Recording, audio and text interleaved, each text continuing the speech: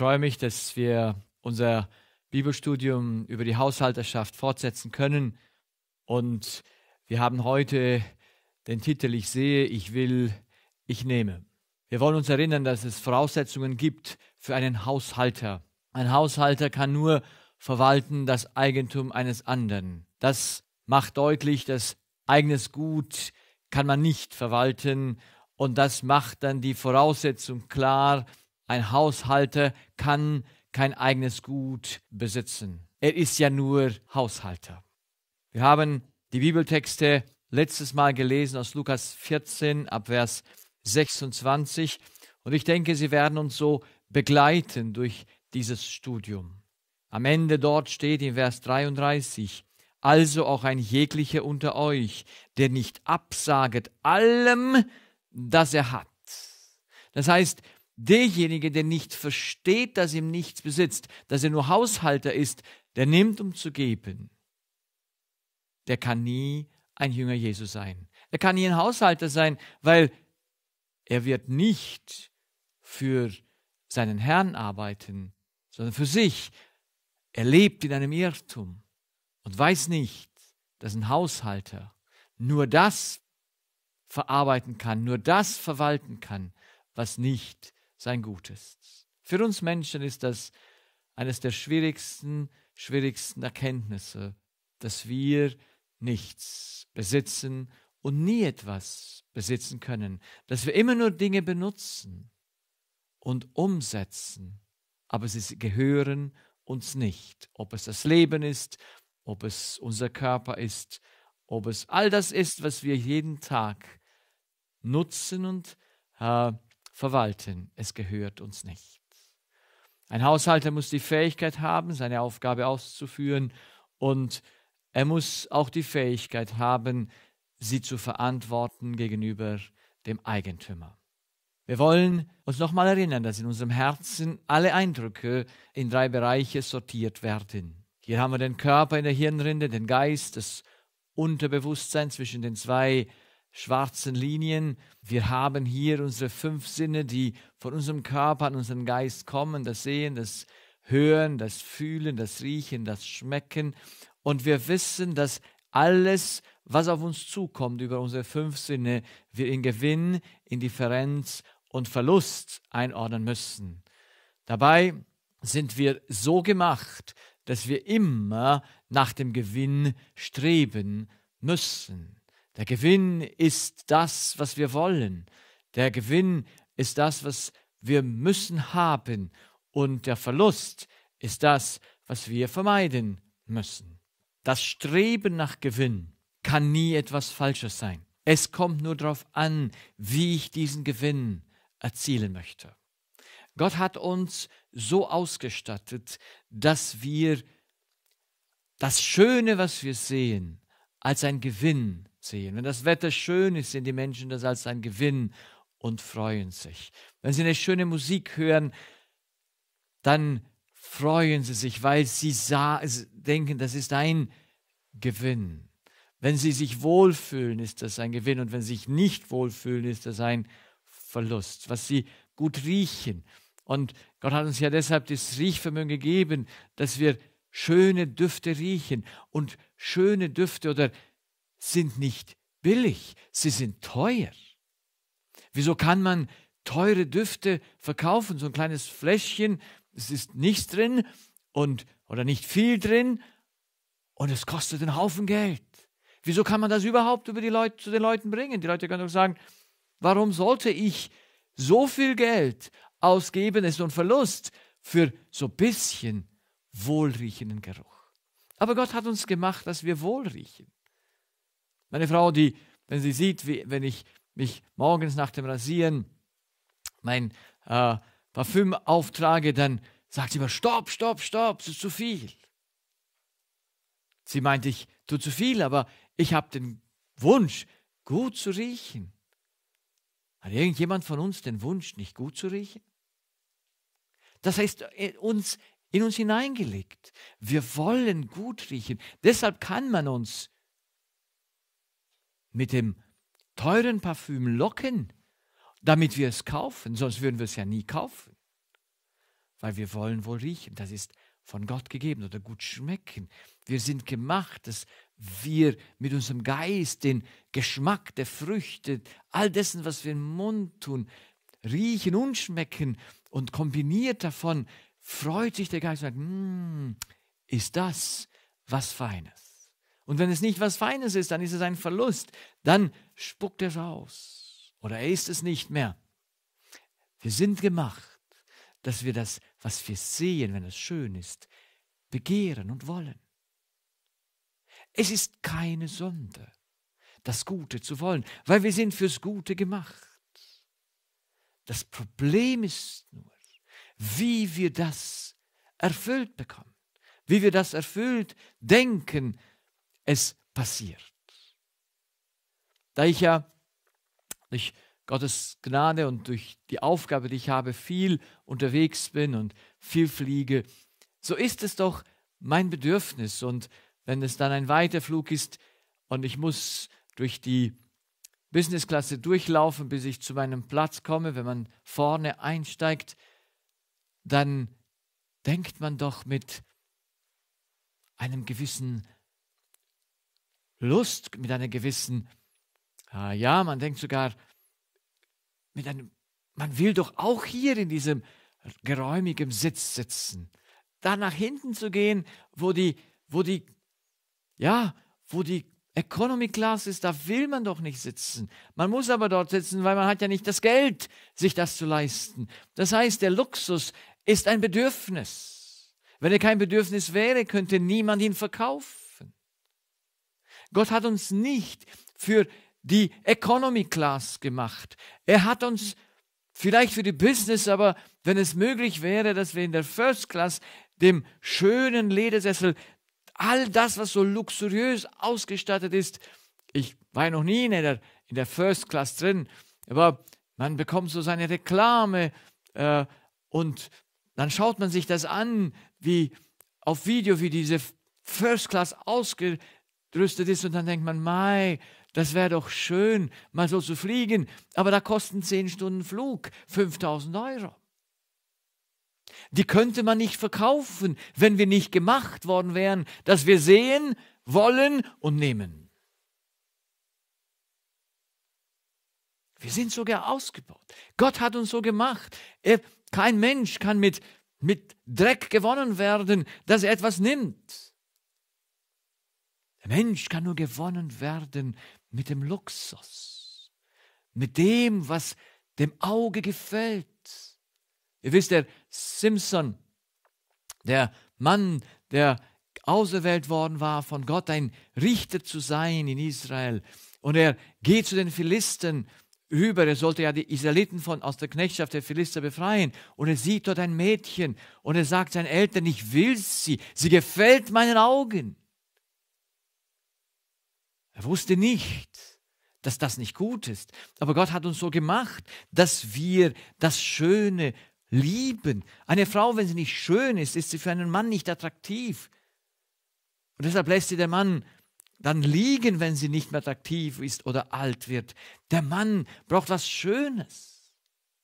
Er ist gemacht, dass er etwas Schönes anschaut. Wir sind nicht gemacht für das Hässliche. Deshalb ist es schön, dass wir versuchen zu verstehen, wie Versuchung nur laufen kann. Die Bibel sagt hier, Jakobus sagt in Kapitel 1, Jakobus, Vers 13 und 14. Niemand sage, wenn er versucht wird, dass er von Gott versucht werde, denn Gott kann nicht versucht werden zum Bösen und er selbst versucht niemand. Das heißt, Gott hat keine Bedürfnisse, deshalb muss er nichts in Gewinn und Verlust hineinsetzen. Gott ist völlig unabhängig. Er kann gewinnen und er kann verlieren. Für ihn ist all das, was um ihn herum ist, nicht von ihm abhängig. Nicht, er ist von ihm, von der Sache nicht abhängig, deshalb kann er nicht versucht werden. Sondern jeglicher wird versucht, wenn er von seiner eigenen Lust gereizt und gelockt wird. Danach wenn die Lust empfangen hat, gebiert sie die Sünde. Die Sünde aber, wenn sie vollendet ist, gebiert sie den Tod. So, lasst uns das klar machen. Wir werden versucht. Der, der Simpson wurde versucht. Aber er wurde versucht von einem Bedürfnis, das er hatte.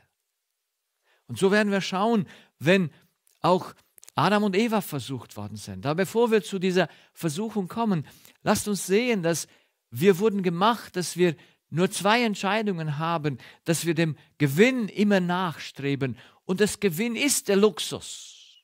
Das Gewinn ist das Schöne. Und dafür haben wir ein Ja.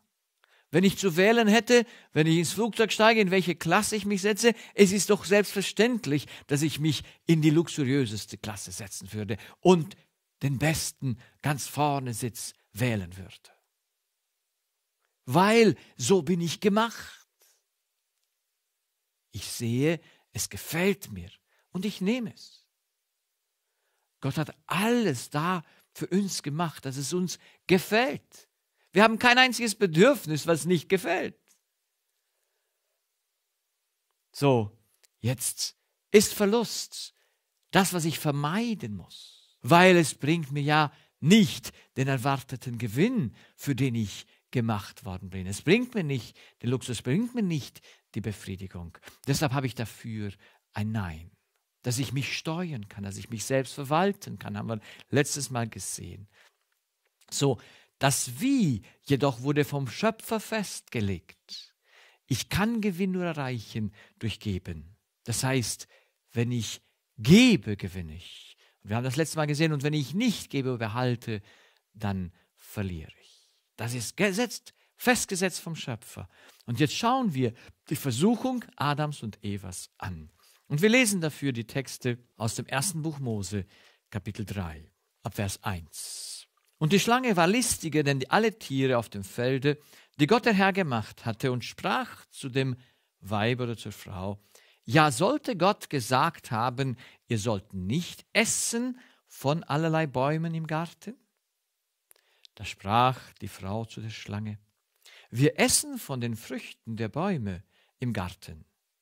Aber von den Früchten des Baumes mitten im Garten hat Gott gesagt, esset nicht davon, rührt's auch nicht an, dass ihr nicht sterbet. Da sprach die Schlange zum, zur Frau, ihr werdet mitnichten des Todes sterben, sondern Gott weiß, Gott weiß, dass welches Tages ihr davon esset, so werden eure Augen aufgetan und werdet sein wie Gott und wissen, was gut und böse ist. Und die Frau schaute an, dass von dem Baum gut zu essen wäre und lieblich anzusehen, da es ein lustiger Baum wäre. Das heißt, der Baum hat Lust gemacht. Gott hat nichts gemacht, was nicht Lust macht. Gott hat das alles gemacht, dass man es sieht und will und nimmt. Aber hat diesen einen Baum gemacht. Gleich wahrscheinlich wie die anderen Bäume. Ich denke nicht, dass er eine höhere Attraktion hatte wie andere. Aber wie es halt nun mal ist, der Geist des Menschen will heraus, will, ist neugierig. Und wenn du sie alle schon gekostet hast, vielleicht die Bäume im Garten, magst du sagen, hm, dieser steht noch aus auf meiner Liste. Frage mich, wie er schmeckt, weil so wie er anzusehen ist, ist lustig. Es ist, es macht Lust, es macht, ist anziehend, weil er klug macht, machte und nahm von der Frucht und aß und gab ihrem Mann auch davon und er aß. So, Gott hat den Menschen in ein Feld gesetzt, ein Umfeld, das ist wunderbar, rein und sauber.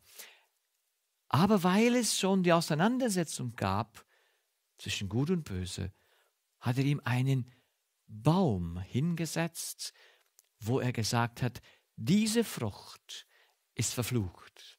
Wenn du isst davon, stirbst du. Und da Gott ja gemacht hat, klar, dass das, was er da in den Garten gesetzt hat, für alle Sinne zur Befriedigung war und als Gewinn, so hat er gesagt, ist nicht von dem einen Baum der Erkenntnis des Guten und Bösen. Nicht essen ist Gewinn. Wenn du isst, ist es Verlust.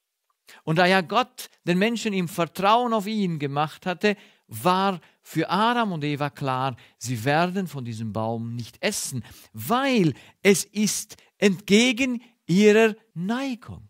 Es ist Verlust, von diesem Baum zu essen. Es gibt keine Attraktivität, von einem Baum zu essen, der giftig ist und der dich tötet, wenn du isst davon.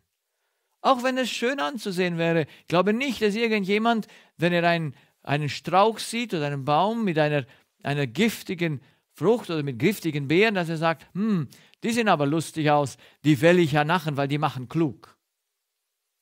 Jeder wird nicht essen davon, egal wie hungrig und wie groß sein Appetit ist, weil er weiß, das Essen davon ist ein Verlust. Und so konnte auch Adam und Eva nicht essen von diesem Baum, weil sie wussten, er ist Verlust. Sie wussten, er ist Verlust. Da kann, geht keiner hin und sagt ja, sondern er sagt nein, ich bleibe dort, wo ich bin. Ich werde von diesem Baum nicht essen. Ich habe ja genug andere zu essen. Aber jetzt kommt die Schlange.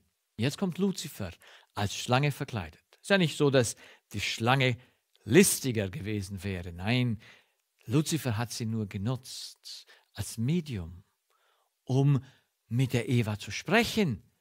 Und es war ja wohl nichts Außergewöhnliches, dass ein Tier spricht, weil die, Menschen kannten die Tiere, konnten mit ihnen sprechen, sie konnten mit ihnen kommunizieren. Sie hatten ihnen ja Namen gegeben, auf diesen Namen gehorchten die Tiere. Und jetzt ist die Schlange hier und spricht mit der Eva und sagt, Eva, komm näher, dieser Baum macht klug. Schau, ich esse von, diesem, von dieser Frucht. Dieser Baum ist, ist, macht klug und er wird dich so machen wie Gott. Gott weiß, dass des Tages, davon ihr essen werdet, so werden eure Augen aufgetan und ihr werdet sein wie Gott. Iss Eva, weil Gott enthält dir einen Gewinn vor. Er tut dich in die Economy Class sitzen, während du für die Luxusklasse gemacht worden bist. Das ist die, die Verführung zum Zweifel in das Vertrauen auf Gott. Das ist die Versuchung. Und wir wissen, nur im Vertrauen können wir fallen. Gott weiß, Eva, er enthält dir vor, wofür er dich letztendlich gemacht hat. Er tut dich in die Economy Class setzen anstelle in die Luxusklasse. Also, dein Bedürfnis ist doch die Luxusklasse. Ja, das Bedürfnis ist die Luxusklasse. Und Gott hat den Menschen nicht in die Economy Class gesetzt, er hat ihn in die Luxusklasse gesetzt. Aber jetzt kommt der Böse und sagt, es ist umgekehrt. Hier ist jetzt die Versuchung. Und hier möchte ich, dass wir es verstehen, wie der Mensch nur zu Fall kommen konnte. Hier ist der Mensch Adam oder Eva und hier hat Gott ihn gemacht mit Geist und Körper. Und im Geist hat Gott ihm gemacht das Bedürfnis nach Gerechtigkeit, Wahrheit, Freiheit, Sicherheit, Frieden, Wohlbefinden, Kenntnis, Freude und so weiter. Und er hat ihn so gemacht, dass der Mensch das auch braucht. Der Mensch braucht Liebe, Gerechtigkeit, Wahrheit, Freiheit, Sicherheit, Erkenntnis, Wohlbefinden und Freude. Nicht tausendfache Sachen, die der Mensch alles im Geiste braucht. Und Gott hat es so gemacht, dass da der Mensch diese Bedürfnisse ja nicht hat, dass er sie von außen holt. Er soll also nach dem Gesetz Gottes auf Gott vertrauen und von ihm nehmen alle diese Bedürfnisse. Und indem er sie gibt, wird er erfüllenden Gewinn. Und damit würde der Körper den elektrischen Strom bekommen und alles würde super laufen. Er hat aber auch den Körper abhängig gemacht von der Erde, von den Bäumen, von den Früchten zu essen. Und der Mensch sollte nehmen, um sie zu geben, seinem Körper. Und damit sollte er den Zweck seiner Schöpfung erfüllen, nämlich Verwalter sein. Verwalter des Gutes Gottes, der einzige Link zum Himmel war vom Menschen abhängig. Und damit sollte der Mensch und die Erde ewig leben, ewig vorwärts gehen in diesem Kreislauf, in den ihn Gott hineingesetzt hatte. Jetzt, wenn die Schlange kommt am Baum der Erkenntnis des Guten und Bösen, dann kann sie nicht den Menschen verführen mit etwas anderem, was der Mensch braucht. Wäre der Mensch ohne Bedürfnisse, wäre er auch nicht verführbar. Man könnte ihn mit nichts verführen. Aber der Mensch hat Bedürfnisse. Und alle seine Bedürfnisse sind gute Bedürfnisse. Deshalb, wie kann es sein, dass er dennoch auf die Schlange reinfällt? Er kann auf die Schlange nur reinfallen, wenn die Schlange ihm etwas anbietet, das wie sein Bedürfnis aussieht, aber nicht sein Bedürfnis ist. Das heißt, er bietet der Eva die Businessklasse an oder die Luxusklasse, um der Eva weiß zu machen, sie sitzt in der Economy Class. Das heißt, er will ihr etwas anbieten und er kommt natürlich zu Eva nicht mit der Wahrheit, er kommt auch nicht mit der Gerechtigkeit, die der, ihr Bedürfnis ist, er kommt auch nicht ihr die Freiheit zu geben, sondern bietet Gefangenschaft an, er kommt auch nicht Sicherheit zu geben, sondern alles, was er hat, ist Unsicherheit, er kommt auch nicht Frieden zu bringen, sondern Krieg, er kommt auch nicht Wohlsein befinden zu bringen, sondern Unwohlsein, er kommt auch nicht Erkenntnis zu bringen, sondern Unkenntnis. Die Eva möchte eine Erkenntnis haben, die Gott gesagt hat, die ist von einem Fluch behaftet. Diese Erkenntnis wird dich töten, Eva. Deshalb geh nicht zum Baum. Diese Erkenntnis ist nicht das, was du brauchst. Sie wird dich nicht befriedigen. Ich möchte lesen aus diesem Buch, aus dem ich viel gelernt habe, in den Fußspuren des großen Arztes. Und hier ist auf Seite 433 in dieser alten Ausgabe. Es ist das Kapitel Die Gefahr spekulativer Weisheit. Und sie sagt, unsere ersten Eltern wurden zur Sünde verführt, da sie einem Verlangen nachgaben, etwas zu wissen, das Gott ihnen vorenthalten hatte. Indem sie nach solcher Erkenntnis suchten, verloren sie alles, was des Besitzes wert war. Wenn Adam und Eva niemals den verbotenen Baum berührt hätten, so würde Gott ihnen Erkenntnis mitgeteilt haben, aber nicht eine Erkenntnis, auf welche der Fluch der Sünde ruhte, sondern eine Erkenntnis, welche ihnen dauernde Freude gebracht hatte, hätte. Alles, was sie gewannen, indem sie auf den Versucher hörten, war die Bekanntschaft mit der Sünde und ihren Folgen. Durch ihren Ungehorsam wurde die Menschheit Gott entfremdet und die Erde wurde vom Himmel getrennt, weil der Mensch die einzige Link war. Er ist der einzige Verwalter, der für das Leben dieser Erde zuständig gemacht wurde. Dies sollte uns zur Lehre dienen. Das Gebiet, auf welches Satan unsere ersten Eltern führte, ist dasselbe, auf das er die Menschen heutzutage lockt. Er überflutet die Welt mit angenehmen Fabeln, weil er weiß, nur das Angenehme wird uns da sein, mit schönen Bildern, mit aller List, die ihm zu Gebote steht versuchte die Menschen in Bezug auf Gott, sich Grübeleien hinzugeben. Dadurch sucht er sie davon abzuhalten, diejenige Erkenntnis Gottes zu erlangen, welche Heil ist. Eines dieser verführerischen Dinge, die der Böse dem Menschen bringt, ist, er will ihm etwas anbieten, was so aussieht wie sein Bedürfnis, aber nicht sein Bedürfnis ist. Adam und Eva fielen in eine, in eine Falle. Eva besonders wegen der Erkenntnis. Sie sagt, okay, ich will etwas wissen. Was Gott gesagt hat, dieses Wissen wird dir nichts helfen. Dieses Wissen ist, ist nichts, was dich emporhebt. Wir können ja nur die Nachrichten nehmen. Das ist da kein Wissen, das uns erhebt. Aber alle Menschen schauen sich's an. Und die meisten davon mit.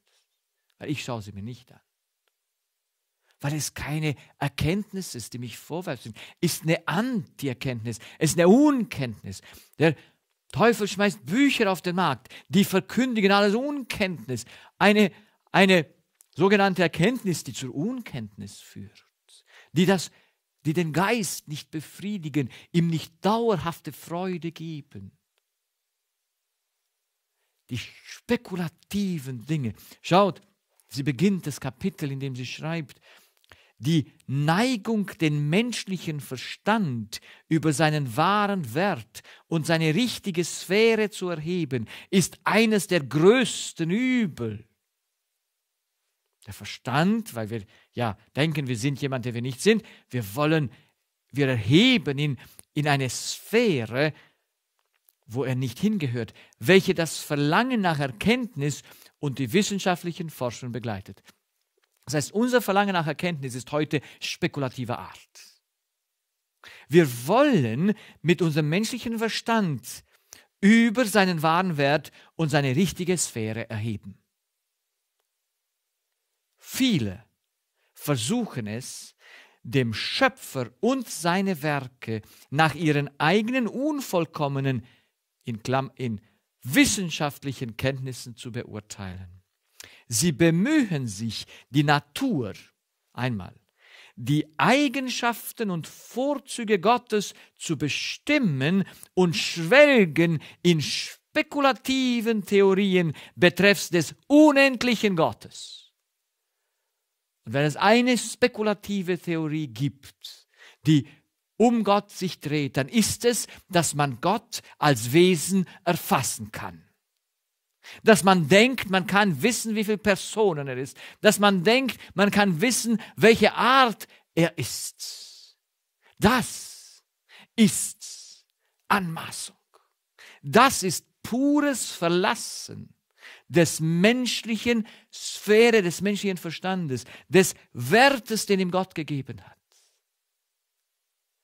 Dem Mensch gefällt es, sich außerhalb dem zu bewegen, was Gott ihm als, ich sage jetzt mal gesagt, so gegeben hat, als Fähigkeit gegeben hat, wie viel er verstehen kann. Was ihm nutzt, alles ist da. Der Garten ist voller Bäume, voller Erkenntnis, alles der Natur. Aber es gibt eine Erkenntnis, die ist ein Fluch für unseren Geist. Und wenn jetzt diese Erkenntnis der Geist haben will, dann verliert er sich und gewinnt sozusagen nur Spekulation, weil es ist ja keine wahre Erkenntnis. Es ist nicht eine Erkenntnis, die von Gott kommt so bemühen sie sich, die Natur, die Eigenschaften und Vorzüge Gottes zu bestimmen. Die Leute denken, sie wissen, wie Gott ist, in wie vielen Personen er lebt, oder sie wollen wissen und eine Doktrin über ihn machen. Sie bemühen sich, die Natur, die Eigenschaften und Vorzüge Gottes zu bestimmen und schwelgen in spekulativen Theorien betreffs des unendlichen Gottes.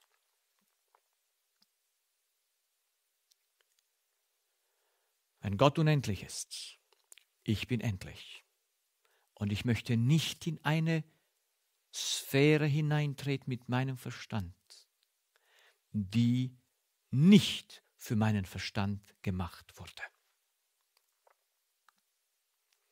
Ich möchte dort bleiben, bei der Erkenntnis, die mich praktisch, die mir eine Freude bereitet, die ich fassen kann die ich nicht nur aufgrund der Imagination meines Geistes erkenne.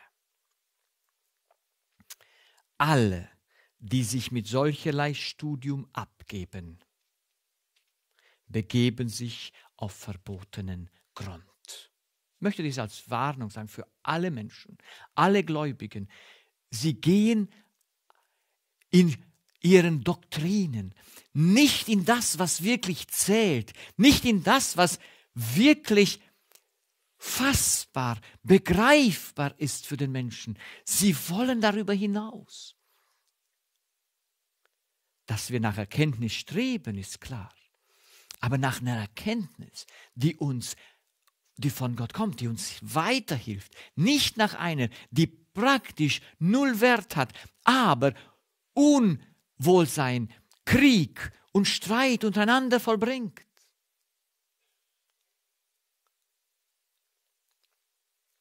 Wenn Menschen heute ihren Glauben auf Doktrinen setzen, die Gott versuchen zu fassen oder zu beschreiben oder ihm ein Limit zu setzen,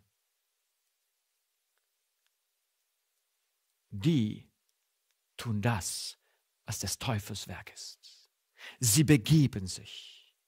Alle, die sich solcher Forschungen, alle solches Studium begeben, abgeben, begeben sich auf verbotenen Grund. Ihre Forschungen werden keine wertvollen Erfolge zeigen und ihnen obzuliegen gefährdet nur das eigene Seelenheil. Ich hoffe, das ist deutlich, wie es nur deutlich sein kann. Der Mensch muss seine Grenze kennen und er muss wissen, was ist Erkenntnis, die Gewinn bringt und welches ist die Erkenntnis, die Verlust bringt. Satan ist ein Künstler. Ich meine, ein, er kann den Menschen packen mit seinem Bedürfnis, während er ihm etwas anbietet, was ein Antibedürfnis ist. Das ist grotesk, dass Adam und Eva sich nach Luzifer richten, dass sie ihr Vertrauen von Gott wegnehmen und nicht mehr von ihm nehmen, sondern ihr Vertrauen nehmen von Gott und essen die Frucht, ist rein irrational. Aber sie tun es, weil sie auf die Schlange vertrauen, weil sie eine Lüge vertrauen, weil sie einer Erkenntnis nachstreben wollen, für die sie nicht gemacht worden sind. Hier trennt sich Adam und Eva von Gott, weil sie nehmen von der Schlange und essen. Ihre Entscheidungen sind falsch. Deshalb habe ich sie versucht, mit einer anderen Farbe klarzumachen. Sie essen, aber ihr Essen ist eine Folge ihres Misstrauens auf Gott. Satan hat das insinuiert, das hat er ihnen vorgegaukelt. Sondern Gott weiß. Das heißt, Gott enthält dir die Luxusklasse vor und gibt, tut dich in die Economy Class. Dann, wenn Gott dich in die Economy Class tut und dir die Luxusklasse vorenthält, dann kannst du Gott nicht vertrauen. Dann musst du doch in die Luxusklasse gehen, weil für die wurdest du gemacht. Aber Satan bietet dir die Luxusklasse an, während sie die Economy Class ist. Und das ist das Problem des Menschen. Das ist das, wo der Mensch Vertrauen lernen muss auf Gott, dass ihm Gott immer die Luxusklasse anbietet, nie, nie, nie die Economy. Weil er hat uns für den Luxus gemacht. Schaut euch doch den Himmel an. Schaut euch, was hat er verheißen denen, die da überwinden sein werden. Was werden die Überwinder ererben?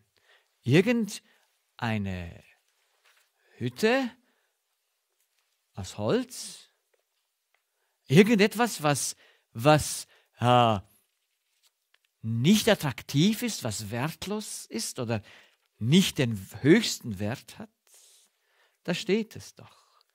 Gott wird eine neue Himmel und eine neue Erde machen, Offenbarung 21. Und dann sieht ab Vers 9. Und es kam zu mir einer von den sieben Engeln, welche die sieben Schalen voll hatten des letzten sieben Plagen und redete mit mir und sprach, komm, ich will dir das die Frau zeigen, die Braut des Lammes. Und er führte mich hin im Geiste und einen großen und hohen Berge und zeigte mir die große Stadt, das heilige Jerusalem, herniederfahren aus dem Himmel von Gott die hatte die Herrlichkeit Gottes und ihr Licht war gleich dem alleredelsten Stein, einem hellen Jaspis und hatte eine große und hohe Mauer und hatte zwölf Tore und auf den Toren zwölf Engel und Namen darauf geschrieben, nämlich der zwölf Geschlechter der Kinder Israel. Von morgen und so weiter. Da sind die Mauern und es, er beschreibt jetzt, wie die Stadt ist und wie groß sie ist und so weiter. Und Vers 19, 18. Und der Bau ihrer Mauer war von Jaspis und die Stadt von lauterem Golde, gleich dem reinen Glase, durchsichtiges Gold. Und der Bau ihrer Mauer war von Jaspis und die Stadt von lauterem Golde, gleich dem reinen Glase. Und die Gründe der Mauer um die Stadt waren geschmückt mit allerlei Edelsteinen. Der erste Grund war ein Jaspis, der andere ein Saphir, der dritte ein Chalcedonier, der vierte ein Smaragd, der fünfte ein Sardonyx, der sechste ein Sarner, der siebte ein Gyrophlit, der achte ein Beryl, der neunte ein Topas, der zehnte ein Chrysophorus, der elfte ein Hyazinth, der zwölfte ein Amethyst. Das ist Luxus. Das ist die Luxusklasse, die Gott allen Menschen anbietet. Das ist die Luxusklasse. Es ist nicht etwas Wertloses, was Gott dem Menschen gibt. Alles, wofür er uns gemacht hat, ist wertvoll. Unsere Augen, unsere Ohren, unsere Haut, unsere Nase, unser Mund soll es aufnehmen und dem Geiste zuführen über die Hirnrinde und der Geist soll es genießen in den vollen Zügen. Die grundsätzliche Veränderung des Gewinns und Verlusts im Herzen des Menschen durch die Sünde. Jetzt ist nicht mehr geben und nicht geben Gewinn, sondern jetzt ist bekommen oder nicht bekommen Gewinn oder Verlust. Und damit ist der Mensch nicht mehr ein Haushalter Gottes. Damit kann er nicht mehr erfüllen, wozu er gemacht worden ist. Weil Gewinn ist bekommen, dann wird aus einem Mittel ein Zweck dann ist Liebe und Gerechtigkeit nicht mehr etwas, was ich umsetzen soll, was ich behalten soll. Dann ist Wasser und Nahrung ein Zweck, dann lebe ich um Essen und Trinken. Dann sind die Werkzeuge, das Auto, das Haus, sind ein Mittel, das mir Gott gegeben hat, um festzuhalten, weil es wird zum Zweck. Die Beziehungen, die Frau, die Mutter, die Kinder, sie werden zum Zweck. Dabei sind sie nur Mittel. Appetit, Leidenschaft, Sexualität wird zum Zentrum. Das Leben selbst wird für uns jetzt das Wichtigste. Aber alle diese Dinge, meine Lieben, inklusive Gott selbst, das Bedürfnis, haben wir nicht, um es zu behalten. Wir haben es nicht, um es zu sammeln. Wir haben es nicht, um es festzuhalten. Wir haben es, um es zu geben. Es ist nicht für uns gedacht, die Ehe ich genieße sie, aber ich habe sie nicht für mich. Ich habe sie, um sie umzusetzen. Ich habe das Leben nicht, damit ich es behalte, sondern dass ich es gebe. Auch die Beziehung zum Schöpfer, zu Gott, wird zum Zweck, wo sie doch nur ein Mittel ist. Die größte Versuchung der Endzeit wird es sein, dass man die Beziehung zu Gott als Zweck dahinstellt. Und damit wird der Mensch verführt und damit kann er den Zweck, wofür er gemacht wurde, nie mehr erfüllen. Sieht doch ganz gut aus, Gott als Zweck zu sehen, oder nicht? Gerade für den religiösen Menschen. Oh, alles auf Gott poliert. Nein, es ist genau antigöttlich. Weil Gott hat sich nicht gemacht für uns als Zweck sondern er hat sich für uns als Mittel gemacht. Adam und Eva sollte aus dem Mittel Gott nehmen und der Welt weitergeben. Dafür hat er sie gemacht. Aber wer zu Gott geht, um festzuhalten, um das, was ihm Gott gibt, ob es seine Frau ist, sein Mann, sein Kind, sein Nahrungsmittel, die Liebe, die Gerechtigkeit, alles, was dir Gott gegeben hat, wenn du es für dich behältst, dann bist du auf dem Holzweg dann kannst du nie ein Haushalter sein. Dann siehst du, willst und nimmst und behältst. Dann nimmst du nicht, damit du es gibst. Dann nutzt du nicht die Luxusklasse, um Gottes Werk zu tun, sondern du nutzt sie für dich. Und damit wird sie zum Bösen und zum Übel. Und damit kann niemand Gottes Diener sein. Ich lese es nochmal, weil es so schön ist. Lukas Kapitel 14. So jemand zu mir kommt, Vers 26, und hasset nicht seinen Vater, Mutter, Weib, Kinder, Brüder, Schwestern und dazu sein Eigenleben, der kann nicht mein Jünger sein. Also auch ein jeglicher unter euch, der nicht absagt allem, das er hat, kann nicht mein Jünger sein. Das heißt, niemand, wenn er nicht versteht den eigenen Zustand, wenn er nicht versteht, dass die Mittel, die ihm Gott gegeben hat, nicht für ihn gedacht sind, sondern zum Umsetzen, damit das Leben weitergeht. Wenn wir das nicht verstanden haben, dann können wir nie Haushalter sein. Wir können nie Jünger Jesus sein. Und die Christenheit heute ist leider keine Jüngerschaft, keine Haushalterschaft Jesu, weil sie tun genau diese zwei Sachen. Sie machen Gott zum Zweck und sie machen die Mittel, die Gott gegeben hat, um sie zu festzuhalten. Sie leben nur für sich. Behalten, sammeln, festhalten. Das Ziel für die Erde da zu sein, das Ziel ein Haushalter zu sein, das Ziel sich hinzugeben für die anderen ist nicht mehr erreichbar. So brauchen wir einen Erlöser, damit wir dieses Ziel erreichen, dass wir wirkliche Haushalter werden in Gottes Werk. Amen.